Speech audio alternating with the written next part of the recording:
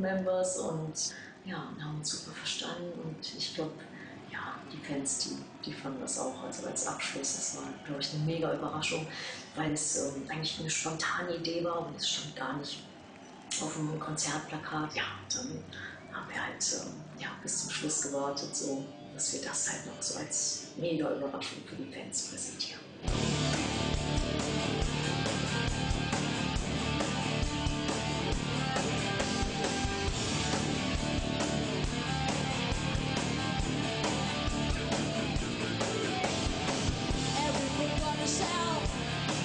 Let's go.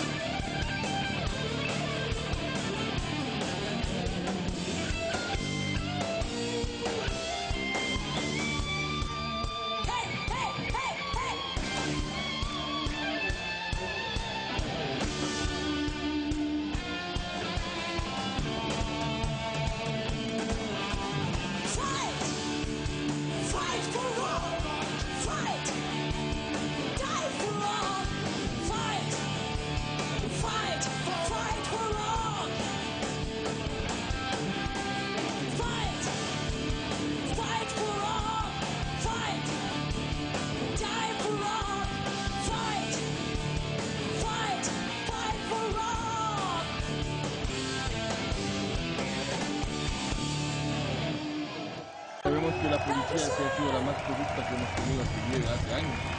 Hemos sido víctimas de ellos con cortadas de pelo y frente a la posición que tomó el rock, de no dejarle a la policía que haga lo que le da la gana. El primer enemigo del rockero ha sido la policía. Lamentablemente, un elemento negativo se manifestó con fuerza en esta época, la absurda y violenta represión policial que asomaba al más mínimo brote de actividad rockera, donde el solo hecho de vestir de negro ya era considerado como prueba suficiente para detener a la gente por cargos como alterar el orden público. con el pelo de hippie, ni mucho menos. Nosotros no inventamos tampoco el consumo de drogadicción, el consumo de cocaína, marihuana. Nosotros no hemos inventado la música rockera que en ocasiones enturbia la mente de los jóvenes. Y nosotros no hemos inventado tampoco el alcohol industrializado. Así que eso es un proceso cultural que tiene que ser desterrado en nuestro país. Desterrado en nuestro país. Desterrado en nuestro país. Al parecer fue a raíz de estas declaraciones que el sábado pasado en Solanda, al sur de Quito, mientras se celebraba un concierto de rock, fueron detenidos 49 rockeros. Según los jóvenes, la detención se debió a una persecución contra el pelo largo, pero según los moradores del tranquilo barrio de Solanda, aquello, más que un concierto, fue un acto de vandalismo e inmoralidad. Eso no fue un festival rockero. Yo no, yo no entiendo qué baile eso era. Golpearse entre ellos. Yo hasta donde vi, sí hubo alcohol. Comenzaron incluso a bailar desnudos. ¿Qué es quitarse una camiseta y sentirse al fútbol del mundo?